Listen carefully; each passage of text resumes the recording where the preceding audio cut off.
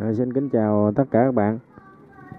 Thì hôm nay tôi chia sẻ tiếp về cái việc à, trong cái quá trình mà anh em mình à, cắt phôi mà phục hồi mai vàng sau Tết á, có những cái cây mà nó thiếu chi thiếu nhánh á, thì mình trong cái quá trình sạc tàn cắt ngắn chi thì các bạn sẽ kết hợp nếu được thì các bạn sẽ kết hợp với dùm tôi thêm một cái phương pháp nữa mà cái phương pháp này đã giới thiệu cho anh em mình à, lâu rồi đó là phương pháp khoanh vỏ hoặc là khía khía thân để tạo những cái chi như mong muốn. Thì cái biện pháp này nó bao gồm một số cái ờ, yêu cầu sau đây. Thứ nhất là mình phải xác định được cái mắt lá của cái thân tại cái nơi mà mình muốn ờ, cho cái cành nó mọc ra. Cái việc thứ hai là các bạn sẽ tẩy rửa bằng vòi phun xịt hoặc là các bạn chà rửa làm sao cho cái thân của cây mai nó à, trở nên là nó nó chóc những cái lớp da cũ những cái nấm mốc ra hết. Để chúng ta thấy được cái mắt lá. Chúng ta thấy được cái mắt lá của cây. Rồi chúng ta tiến hành chúng ta khía. Thì các bạn sẽ khía ờ, dùng dao bạn khoanh vỏ tại vị trí trên cái mắt lá đó.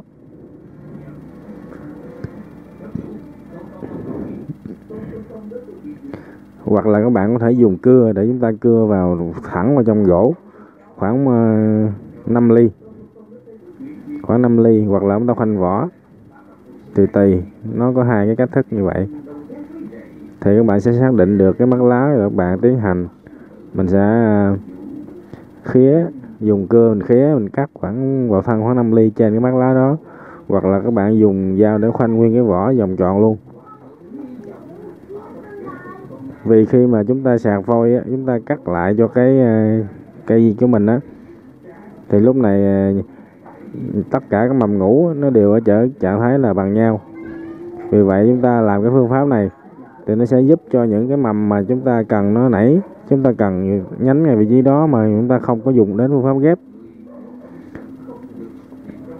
Thì các bạn có thể sử dụng cái phương pháp này để chúng ta kích thích mầm ngủ của thân để mọc ra thì chúng ta đỡ phải cái tốn công ghép hơn. Đây thì ờ, mời các bạn xem những cái thao tác khi tôi khoanh vỏ cho cái cây mai vàng. Các bạn thấy cái mắt lá bên dưới. Đấy. Cái việc khoanh này thì nó giúp cho cái ờ, cái dinh dưỡng nó vận chuyển lên. Nó bị à, nếu mà cái cây mình không còn lá để à, qua hộp thì nó sẽ tức thì nó sẽ à, đâm những cái chồi tại những cái mắt lá. Vì vậy cái việc mà chúng ta vệ sinh cái vỏ cây cho nó sạch à, khỏi rong rêu nấm mốc rồi chúng ta trắng thêm như vậy thì dinh dưỡng nó sẽ tích lũy nó dồn lên tại cái vị trí mắt lá và nó bung cái mắt lá. Ở đây thì tôi cái cây này tôi đã cắt cắt tàn và khía nhiều cái nơi khía khía nhiều cái nơi ở trên à, thân cho các bạn xem.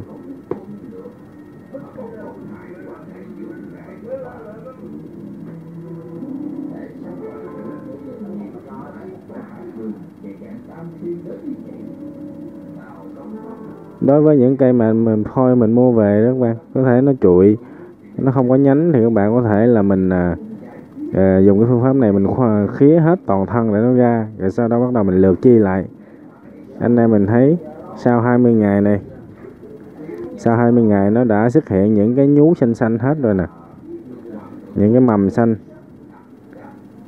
Đây các bạn thấy đó, có những cái mầm xanh nhú ra ở bên dưới cái vết khía của chúng ta. Thì anh em mình hỏi vết khía này xem khi khía có cần bôi keo liền sẹo không? Thì mình khỏi cần cũng được các bạn. Đây ở bên cái tại vết khía nó có những cái mắt lá đang xuất hiện đây những cái mầm non là xuất hiện.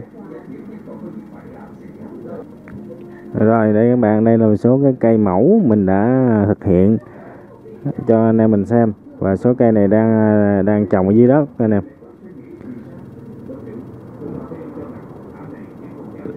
anh em mình thấy trong quá trình sạc tàn cắt chuỗi hết thì mình tiến hành mình à, khoanh những cái khía ở giữa những cái đoạn mà nó không có nhánh á, những đoạn mình thấy nó trống trải á, thì mình sẽ khía cho nó sau này nó sẽ mọc nhánh và nó lớn lên thì mình uống.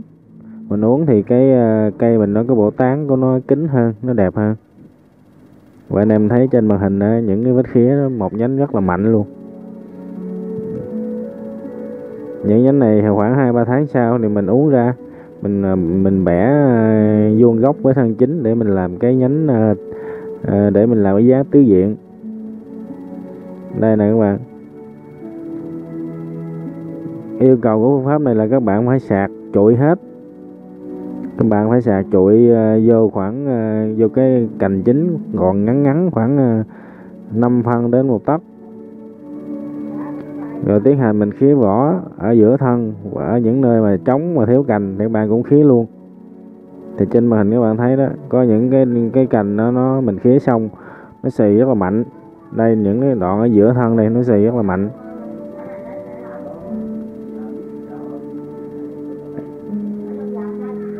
Đấy. Đây là một cái cây khác nữa, cái cây lúc nãy mình thao tác cho các bạn xem là một cây khác. Cây ờ, này là một cây khác nó mọc rất là nhiều nhánh dưới này. Thì à, thì sau này mình nó lớn lên nó tốt thì mình kiểm tra nhánh nào nó đạt nhánh nào nó mập nó khỏe thì mình sẽ chọn lại.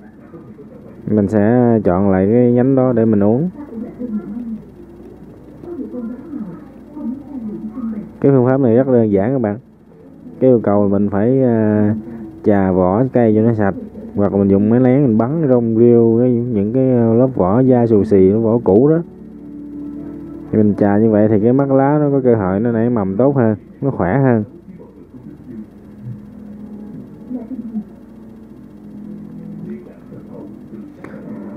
Và khi nào mình áp dụng được phương pháp này thì thường thường là mình phải đợi cái cây mai mình nó đối với những cây mai khỏe mạnh mình sẽ dùng phương pháp này nó xì mà nhánh mới, mới mạnh. Còn những cây đang yếu á, những cây đang yếu thì các bạn sẽ ờ, hồi phục cho nó tốt thì nó khỏe đi, mình sẽ xử lý theo hướng này. Còn những cây đang yếu mà các bạn xử lý hướng này là nó không bao giờ nó xì được đâu. Thì mình nhìn cái trạng thái của cây là mình biết cây này rất sung, đâm tò chồi rất mập.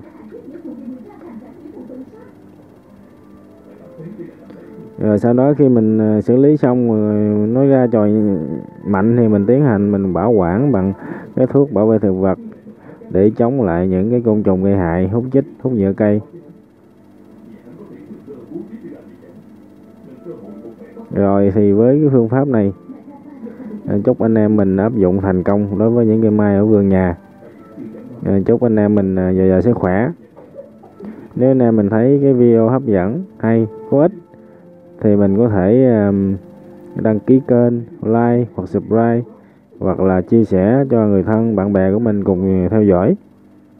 Thì chúc các bạn ờ, thành công. Hẹn gặp lại ờ, mọi người ở những video tiếp theo. À, xin kính chào.